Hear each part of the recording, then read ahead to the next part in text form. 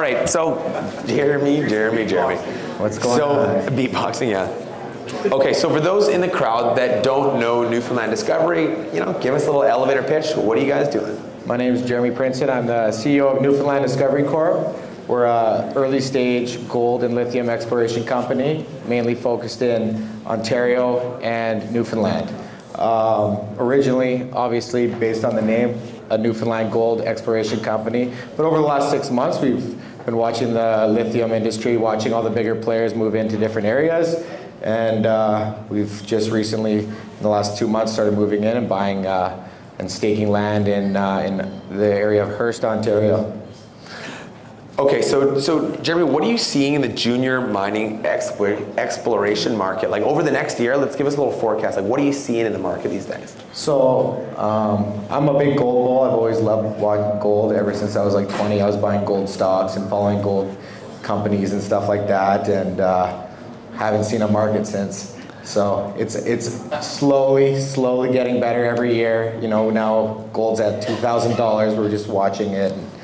You know, at some point, junior exploration is going to heat up, and you know, so like with Newfoundland Discovery, we've just positioned ourselves. In super good jurisdictions. But if we were to go and drill it right now, nobody's going to even look at our results. And so we moved into the lithium space. And with lithium, lithium's in a very interesting situation right now because in the last year, there's the biggest staking rush Canada has ever seen for, for lithium. Everybody and their dog is staking land all over the country. And as we speak, there is boots on the ground all over the country looking for pegmatites, looking for lithium, because it's never been, there's never been cash deployed in, in that space. Um, so that's our, that's kind of what we're looking at right now. And I think in the next three months, we're going to start to see a lot of results from a lot of lithium companies.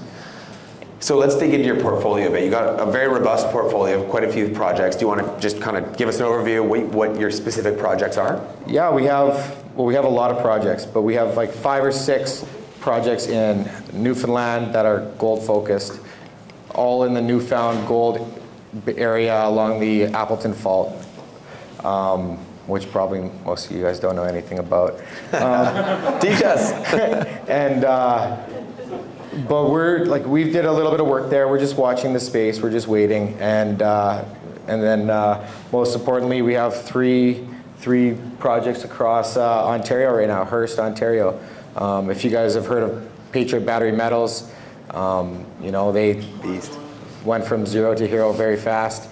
And uh, we all kind of know what, what happens when, a, a, when an area makes a big discovery, the entire area lights up. Everybody rushes in and stakes. So we've been watching Brunswick Exploration. Um, they're a far larger company than us, and we have a lot of projects right along the same belt as them. They're spending millions of dollars in the ground right now and just waiting on results.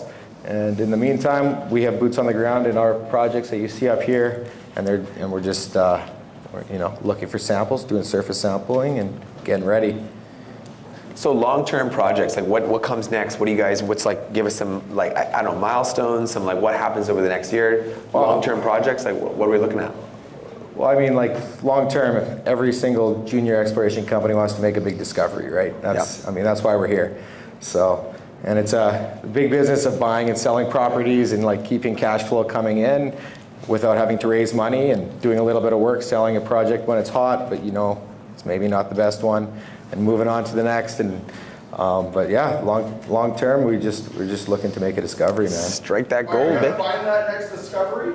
Yeah, I'll find it for you, baby. God, there's always a heckler, eh? There's always that guy. you were over here. I saw I saw you drift over there. You try to make it look like it's more than one person. I love that though. I love it. I'm being real.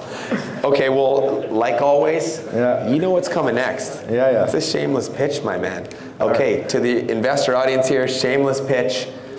Did the lights just dim? Wow, that was dramatic. I love me. that. Okay, shameless pitch to investors. Well, if you guys uh, if you guys buy uh, penny stocks ever in your life, the, the the saying is always go away in May, and at this time all stocks are down. Everything's cheap. Ours is especially cheap as well, and uh, I think when things turn around, we're positioned for. We have a lot of catalysts that could happen over the summer. We don't know. Gold could turn next week, and we're on right. Um, but we're, we're trading we're trading at about six cents right now. Our last raise is at six cents, and we're uh, we're positioned for uh, success in the future. So Love yeah, it. that's where we're at. Jeremy Prinsen, longtime friend, Newfoundland Discovery, best ticker in the world, Nude, N-E-W-D. Get nude. Let's go, give it up for my man, Jeremy. Love you, brother. Fuck, Nailed it. Love it, dude. Cheers, buddy. Nailed it, bro. I love that.